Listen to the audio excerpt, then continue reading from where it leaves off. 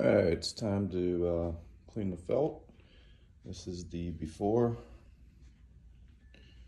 See a lot of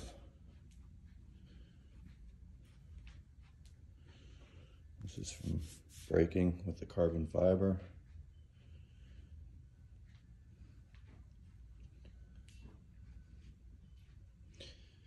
And we'll have the after in just a minute. All right, I told you I'd give you the after. As you can see, I sent these through my new cleaner.